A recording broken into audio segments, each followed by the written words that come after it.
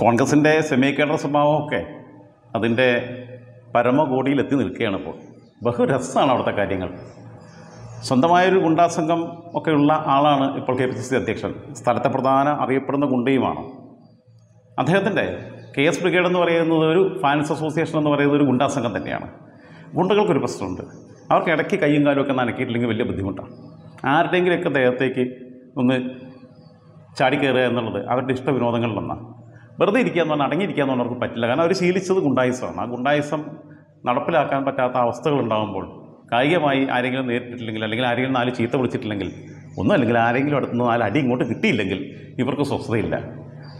അടി ഉണ്ടാക്കുക എന്ന് പറഞ്ഞു കഴിഞ്ഞാൽ ബിരിയാണി കിട്ടുന്ന മാതിരിയാണ് അവർക്ക്. ഭയങ്കര ആവേശമാണ്. കൊടുക്കുന്നതിലേറെ തിരിച്ചു കിട്ടാറാണ് പൊതുവെ പതിവ്. എന്നാലും അവർക്ക് വലിയ കുഴപ്പമൊന്നുമില്ല. അങ്ങനെ ഒരു സംഭവമാണ് ഇപ്പോൾ വന്നുകൊണ്ടിരിക്കുന്നത്. കെ സുധാകരനെക്കുറിച്ച് കെ സുധാകരന്റെ ഗുണ്ടായുസത്തെക്കുറിച്ചും ഒക്കെ നാൽപ്പാടി വാസ് വധക്കേസ് തൊട്ടുള്ള അനുഭവങ്ങൾ നമ്മുടെ മുമ്പിലുണ്ട്. എന്തിനേറെ? കുറച്ചു കാലം ഇടതുപക്ഷ ജനാധിപത്യ മുന്നണിയിൽ നിന്ന് പോയി. നിങ്ങൾ എന്നെ കോൺഗ്രസ് ആക്കി എന്ന പുസ്തകമൊക്കെ എഴുതിയ നമ്മളെ അവളക്കുട്ടി എ പി അബ്ദുള്ളക്കുട്ടി.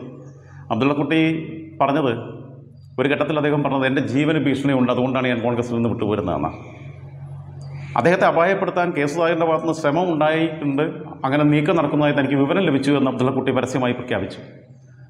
അതിൽ ചിലപ്പോൾ സത്യത ഉണ്ടാവും. വസ്തുത ഉണ്ടാവാൻ സാധ്യതയുണ്ട്. കാരണം അബ്ദുള്ളക്കുട്ടി കോൺഗ്രസിന്റെ നേതാവായിട്ടിരിക്കുമ്പോൾ അബ്ദുള്ളക്കുട്ടിക്ക് ഒരു ജീവാപായം ഉണ്ടായാൽ അതിന്റെ പാപഭാരം സി പി എമ്മിന്റെ മേലെ കെട്ടിവെക്കുകയും അത് വെച്ച് തനിക്ക് മുന്നോട്ടുള്ള വഴികൾ കൂടുതൽ സുഗമമാക്കി മാറ്റുകയും ചെയ്യാൻ കെ സുധാകരന് സാധ്യമാകുമായിരുന്നു.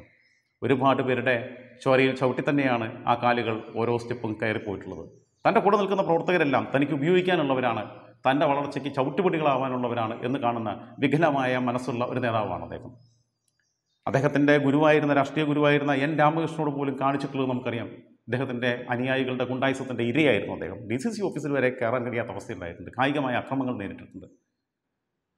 ഡി സി സി ഓഫീസിന്റെ സെക്രട്ടറിക്കെതിരെ അക്രമം ഉണ്ടായിട്ടുണ്ട്. കയ്യും കാലും തല്ലി ഒടിക്കപ്പെട്ടിട്ടുണ്ട്.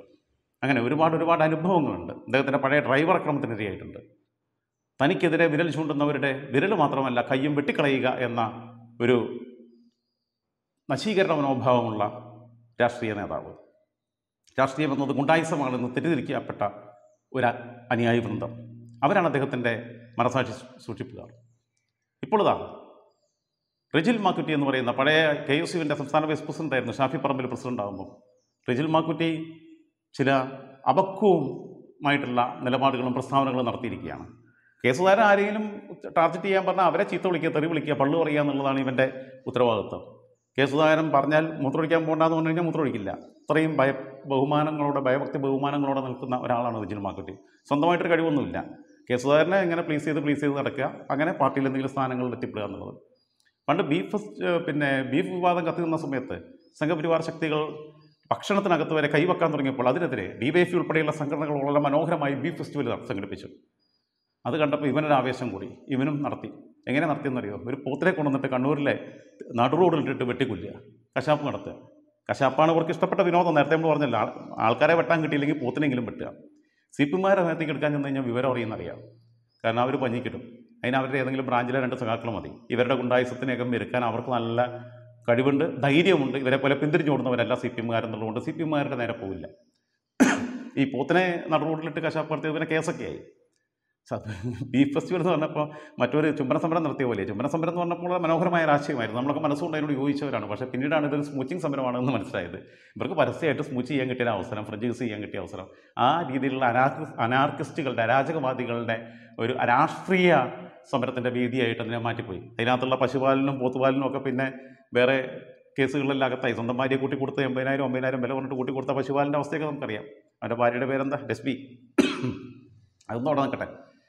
ഏതായിരുന്നാലും പോത്തിനെ വെട്ടിയതിനെക്കുറിച്ച് ഇന്ന് ഇവനുമായി ബന്ധപ്പെട്ട ചില ഡാറ്റാസ് കളക്ട് ചെയ്യാൻ വേണ്ടി ഞാൻ സംസാരിച്ചപ്പോൾ എന്നോട് യൂത്ത് കോൺഗ്രസിന്റെ സംസ്ഥാന ജനറൽ സെക്രട്ടറി പറഞ്ഞത് അന്ന് ആ പോത്തിന് പകരം ഈ പോത്തിനെ ആരെങ്കിലും വെട്ടിയിരുന്നെങ്കിൽ ഞങ്ങൾക്ക് കോൺഗ്രസ്സുകാർക്ക് ഈ നാണക്കേട് ഒഴിവായി കിട്ടുമായിരുന്നു എന്നാണ് ഇപ്പോൾ അവൻ തിരിഞ്ഞിരിക്കുന്നത് വി എം സുധീരനെതിരെയാണ്. വി എം സുധീരനെ ശകുനി എന്നാണ് പറയുന്നത്. കോൺഗ്രസിനെ രക്ഷപ്പെടാൻ അനുവദിക്കാത്തത് വി എം സുധീരനാണ് എന്ന്. രണ്ടായിരത്തി പതിനാറിലെ നിയമസഭാ തെരഞ്ഞെടുപ്പിലെ തോൽവിക്ക് കാരണം വി എം സുധീരനാണ് എന്നാണ് പറഞ്ഞത്. വി എം സുധീരനല്ല എന്റെ പൊന്നു മാക്കുറ്റിയെ. മാക്കുറ്റിയായാലും പൂക്കുറ്റിയായാലും ഒരു കാര്യം പറയാനുള്ളൂ. വി എം സുധീരനല്ല. മറിച്ച് നിങ്ങളുടെ നെറികെട്ട ഭരണം കൊണ്ട് നിങ്ങളുടെ നേതാക്കന്മാരുടെ കയ്യിലിരിപ്പ് കൊണ്ടാണ് നിങ്ങൾക്ക് രണ്ടായിരത്തി പതിനാറിൽ ഭരണം നഷ്ടപ്പെട്ടത്. രണ്ടായിരത്തി ഇരുപത്തി ഒന്നിൽ പുട്ടിന് പോലെ അഞ്ച് വർഷം U D F L D F മാറി മാറി ഭരിക്കുന്ന കേരളത്തിൽ ഇടതുമുന്നണി സർക്കാരിന് തുടർഭരണം ഉണ്ടായത് നിങ്ങളുടെ നേതാക്കന്മാരുടെ കൊള്ളരുതായ്മ കൊണ്ട് നിങ്ങളുടെ കഴിവ് കൊണ്ടുമാണ്. അത് മനസ്സിലാക്കിയാൽ മതി. ആത്മവിമർശനപരമായിട്ടാണ് നിങ്ങളൊക്കെ പരിശോധിക്കേണ്ടത്. നിങ്ങളും നിങ്ങളുടെ നേതാവ് കെ സുധാകരനും ഉൾപ്പെടെയുള്ളവർ നടത്തിയിട്ടുള്ള പ്രവർത്തനങ്ങൾ അതിന്റെ ഫലമാണ് നിങ്ങൾ അനുഭവിക്കുന്നത്. അല്ലാതെ നിങ്ങളുടെ കൂട്ടത്തിൽ ആകെ കൊള്ളാവുന്ന ഒരു ആദർശ വിശുദ്ധിയുള്ള ഒരാളാണ് വി എം സുധീരൻ. കുറേയൊക്കെ സത്യസന്ധതയുള്ള ഒരാൾ. കൂട്ടത്തിൽ തമ്മിൽ ഭേദം തുമ്പന എന്ന രീതിയിൽ എടുത്തു കഴിഞ്ഞാൽ വി എം സുധീരൻ മറ്റു കോൺഗ്രസ് നേതാക്കന്മാരിൽ നിന്നും കുറച്ചുകൂടി വ്യത്യസ്തരാണ് ആ വി എസ് സുധീരനെതിരെ ഇദ്ദേഹം ഉന്നയിച്ചിട്ടുള്ള ആരോപണങ്ങൾ ആലോചിക്കണം. അത് കടുത്ത സംഘടനാ വിരുദ്ധമായ പ്രവർത്തനമാണെന്നും കൂടി ആലോചിക്കണം. മുൻ കെ പി സി സി അധ്യക്ഷനെതിരെ ഇന്നലത്തെ മഴയ്ക്കും പിന്നെ മുളച്ചു പൊന്തിയ ഒരുത്തൻ ഈ പള്ളു പറയുമ്പോൾ അവനെതിരെ എന്തുകൊണ്ട് സംഘടനാ നടപടി എടുക്കുന്നില്ല? കെ പി അനിൽകുമാറിനെയും പിന്നെ ഏഹ്, ഇയാൾക്കൊക്കെ എതിരെ ശിവദാസൻ നായർക്കൊക്കെ എതിരെ ആ നടപടി എടുക്കാൻ കെ പി സി സി പ്രസിഡന്റിന് വലിയ ആവേശമായിരുന്നല്ലോ? എടുക്കില്ല. കാരണം റിജിൽ മാക്കുറ്റി എന്ന് പറയുന്ന ഈ പോത്ത് കെ നമ്മുടെ യൂത്ത് കോൺഗ്രസിന്റെ സംസ്ഥാന ജനറൽ സെക്രട്ടറിയുടെ ഭാഷ കടമെടുത്താൽ ഈ പോത്ത്. ഈ പോത്തിനെതിരെ നടപടി എടുക്കാൻ കഴിയില്ല. കാരണം കെ സുധാകരന്റെ എല്ലാ രഹസ്യങ്ങളും എല്ലാ അടിപ്പാവാട രഹസ്യവും അടുക്കള രഹസ്യവും ഒക്കെ മനഃപ്പാടമാക്കി എല്ലാം കണ്ടറിയാവുന്ന ഒരാളാണ് വിജുൽ മാക്കറ്റി. നടപടി എടുത്തു കഴിഞ്ഞാൽ ഒന്നുകിൽ അവനെ തീർക്കണം. അല്ലാന്നുണ്ടെങ്കിൽ നടപടി എടുത്തു കഴിഞ്ഞാൽ അവനൊക്കെ വിളിച്ചു പറയും. പിന്നെ കെ സുധാകരൻ എന്ന് പറഞ്ഞാൽ രാഷ്ട്രീയ നേതാവിന് തലയിൽ കൊണ്ടിട്ട് മാത്രമേ കേരളത്തിൽ കൂടി നടക്കാൻ പറ്റുള്ളൂ. ഇവൻ ഉന്നയിച്ച ആരോപണം രണ്ടായിരത്തി പതിനാറിലെ തെരഞ്ഞെടുപ്പ് സമിതി യോഗത്തിനകത്ത് സ്ഥാനാർത്ഥി നിർണയ ചർച്ചകൾക്കിടയിൽ കെ ബാബുവിനെതിരെ പ്രതിപക്ഷം പോലും വി എസ് അച്യുതാനന്ദൻ പോലും ഉന്നയിക്കാത്ത ആരോപണങ്ങളാണ് ബി എം സുധീരൻ ഉന്നയിച്ചതെന്ന് രണ്ട് തെറ്റാണ് അതിനകത്തുള്ളത്. മൂന്ന് തെറ്റാണുള്ളത് വസ്തുതാപരമായി. ഒന്ന് B M V S Achuthanandan എങ്ങനെയാണ് കോൺഗ്രസിന്റെ തെരഞ്ഞെടുപ്പ് സമിതിയിൽ ആക്ഷേപം ഉന്നയിക്കാൻ പറ്റുക അയാൾ അദ്ദേഹം അതിൽ അംഗമല്ല. സാങ്കേതികമായിട്ടുള്ള കാര്യം. ആ സമിതി യോഗത്തിൽ ബി എം സുധീരൻ ഉന്നയിച്ചതുപോലെ വി എസ് അച്യുതാനന്ദൻ പോലും ഉന്നയിച്ചിട്ടില്ല എന്നാണ് ഇപ്പം പറഞ്ഞത്. പൊട്ടൻ. അടുത്തത് വി എസ് സുധീരൻ തെരഞ്ഞെടുപ്പ് സമിതിക്കകത്ത് ഉന്നയിച്ച ഒരു കാര്യം എങ്ങനെ റിജുൽ മാക്കറ്റി അറിഞ്ഞത്? റിജുൽ മാക്കറ്റിയ കമ്മിറ്റിക്കകത്ത് അംഗമല്ല.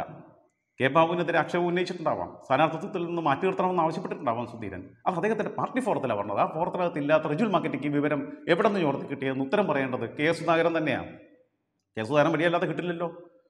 അപ്പോൾ പിന്നെ കോൺഗ്രസിന്റെ കേരള സ്വഭാവം ഒക്കെ എവിടെ എത്തിയിരിക്കുന്നു എന്നറിയാലോ. നേതാക്കന്മാർ അതിനകത്തുള്ള രഹസ്യങ്ങൾ കീഴ്ഘടകത്തിലുള്ളവർക്ക് ചോർത്തി കൊടുക്കുന്നു.